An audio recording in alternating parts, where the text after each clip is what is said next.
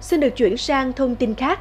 Vừa qua, cơ quan cảnh sát điều tra công an thành phố Thủ Đức, thành phố Hồ Chí Minh đang phối hợp với công an các địa phương điều tra truy xét vụ một phụ nữ thực hiện nhiều vụ giàn cảnh trộm điện thoại xảy ra trên địa bàn.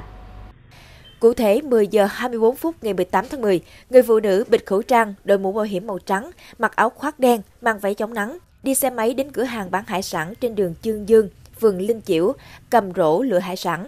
Người này lợi dụng lúc người chủ không chú ý, thò tay lấy điện thoại iPhone trên bàn, rồi giả vờ cọc lại 100.000 đồng, nói có việc gấp đi về, quay lại lấy hải sản sau.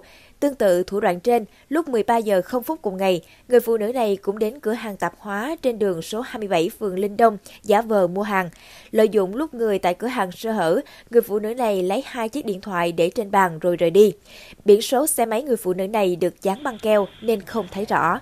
Hành động của nữ quái được camera an ninh cửa hàng ghi lại và được người dân của chủ cửa hàng đăng tải lên mạng xã hội cảnh báo.